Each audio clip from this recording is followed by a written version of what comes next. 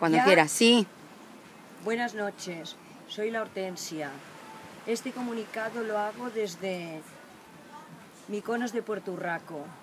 Es muy bonita esta playa. Nunca hubiera pensado que aquí pudiera haber toda este agua, toda esta chilao, toda esta gente, de verdad, ¿eh? porque después de lo acontecido hace años en dicho pueblo, pues esto lo han arreglado para que tenga otra fama. Os voy a enseñar un poco donde vivían las hermanas asesinas.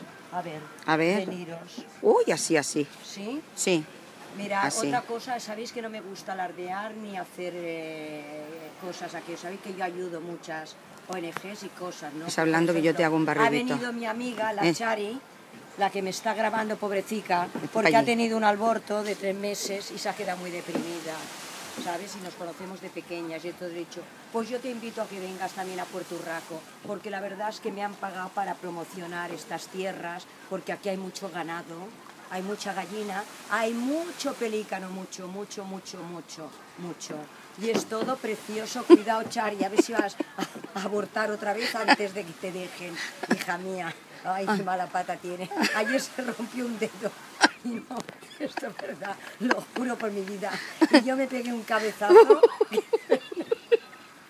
que tengo que tengo esto, que la peluca me la he tenido que encajar, porque bueno, pues nada, vamos a pasar. ¿Queda batería, Charo? ¿O cortamos? ¿Queda batería? Cut, cut, cut. Pues corta, es que ella habla inglés.